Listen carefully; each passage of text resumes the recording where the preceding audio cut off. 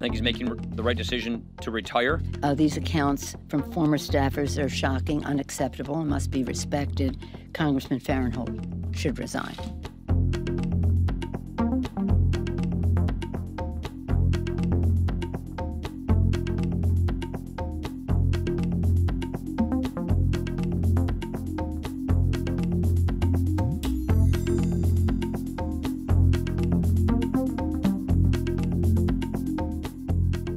I could see as much as a $2,000 per year increase in, in, in, my premium.